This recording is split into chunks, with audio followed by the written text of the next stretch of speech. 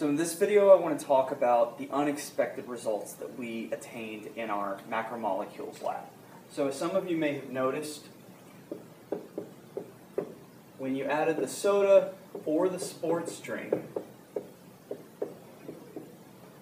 to the Biuret solution,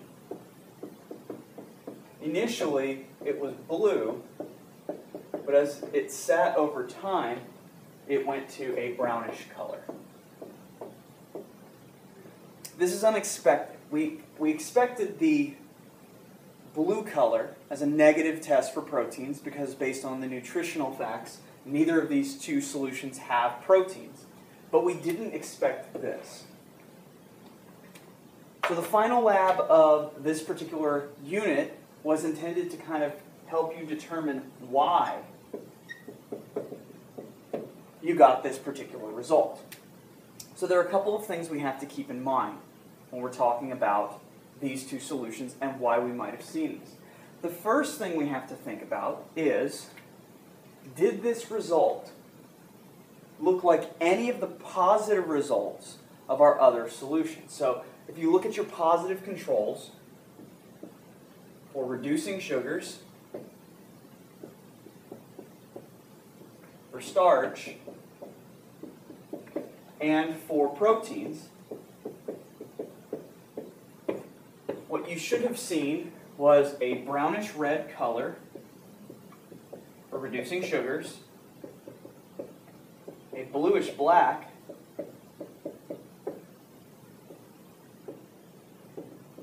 for starch, and then a purple color for proteins. So this obviously doesn't match this potential color, and this one doesn't. Now, the brown we saw here wasn't exactly the same color as what we saw here, but this is at least a potential lead and a link between these two results. So the next question we need to ask is, what is there in this solution and these two solutions that may be causing this? So let's start with the Biuret. And the question I want to introduce and talk about first is, when we're thinking about the reducing sugars test, remember that the detection agent we use for reducing sugars is Benedict's. While for proteins, we of course use Biuret. Now, is there a common ingredient in these two solutions? Well, one of the primary ingredients in Benedict's is copper sulfate. In fact, it's the copper and copper, copper sulfate that reacts with the free carbonyl group in our reducing sugars that results in that brown color when we form copper oxide.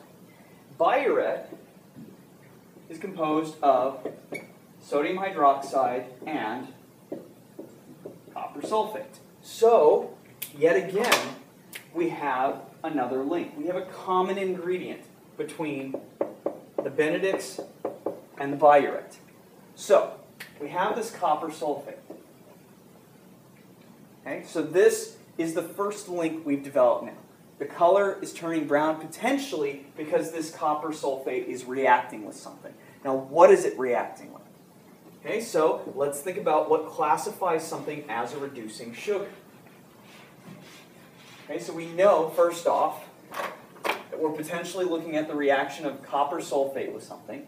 Well, reducing sugars are sugars, typically mono and sometimes disaccharides, that have a free carbonyl group. When this free carbonyl group is present in the molecule, the oxygen in the carbonyl group reacts with the copper in copper sulfate to form copper oxide. And this is the brown color that you saw in your reducing sugars test. And it's potentially also what's causing the brown color in our Biuret. So now the question we have to ask is, do soda and sports drink potentially contain reducing sugars? And if so, which ones? And what you found by going through the ingredients list of those two solutions is that between the two we had in sports drink, we had fructose in high fructose corn syrup. I'm sorry, in soda, we had fructose.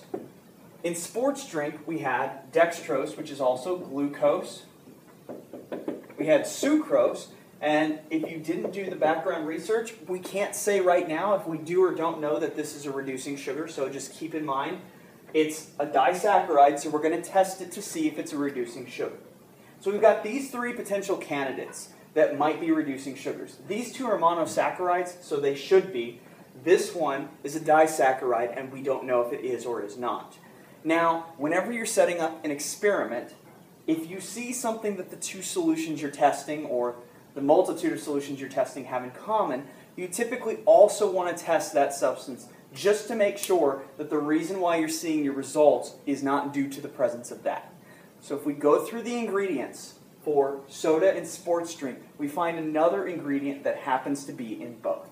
And that ingredient is called citric acid. Because it's in both solutions, it's found in sports drink and in soda, we need to test it just to verify that this is not what's causing that result. Maybe the result we're seeing is not due to the presence of a reducing sugar. Maybe the result is due to the fact that this is present in both solutions. So the way that you set this up was you took 40% fructose, glucose, sucrose, and citric acid,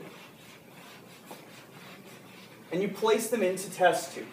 So now that we've come to these conclusions, we need to test our hypotheses. If we think, in fact, it is the fact that there are reducing sugars and that those reducing sugars are reacting with the copper sulfate, we have to test this to validate or invalidate our hypothesis. So I've drawn a chart here, and this represents the test tubes we created. You created two test tubes for fructose, two for glucose, two for sucrose, and two for citric acid. You added fructose, fructose tubes, glucose, sucrose, and citric acid to their respective tubes. And then in the tubes that had an R following these letters, you added Benedicts, and we boiled those. And when we boiled fructose with Benedicts, we found that it is indeed a reducing sugar. And the solution turned that brownish red color that's indicative of the formation of copper oxide, signifying that fructose has a free carbonyl group, and again, to bring it all home, is therefore a reducing sugar.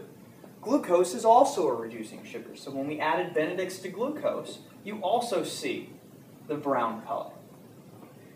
Now we need to test sucrose and citric acid. Now, citric acid is not a reducing sugar, but because both sports drink and lemon lime soda contain citric acid, we just want to verify that in the event that it's not the reducing sugars, we need to also verify that it's not this that's causing the color change. Because both solutions have citric acid, we have to test it. Okay, so we add sucrose to Benedict's reagent, and it stays blue, even when we boil it. Signifying that sucrose, even though it's a disaccharide, is not a reducing sugar. It does not have a free carbonyl group. Citric acid also remains blue. Is therefore not a reducing sugar. So now what we're looking for is when we add the biuret, ideally, ideally what we will see is a similar coloration for the reducing sugars and a lack of that coloration in the non-reducing sugars. So when you add your biuret to the fructose, after 10 minutes, you probably noticed that it indeed turned brown. Okay, so so far so good. Then we added the glucose and the biuret, and lo and behold, it also turned brown. Now comes the true test. When we add the sucrose, we see no color change. So this remains blue. And a final test, just to verify that it wasn't the citric acid that was contributing to the brown color. When we add citric acid with biuret, it also remains blue. So the results that we can take away from this, the reason why the soda and the sports drink tested negative for proteins, but then gave us this unexpected result, are due to the presence of these reducing sugars in each. Soda has high fructose corn syrup, while the sports drink had glucose. The presence of those reducing sugars results in the formation of copper oxide from the copper sulfate in Biuret solution. Conversely, the sucrose and the citric acid did not contribute to this brown color in the Biuret. And that's not a surprise to us because those are not reducing sugars. So we have now supported our hypothesis that the reason that we got this unexpected result is because of the presence of reducing sugars, not the presence of anything else.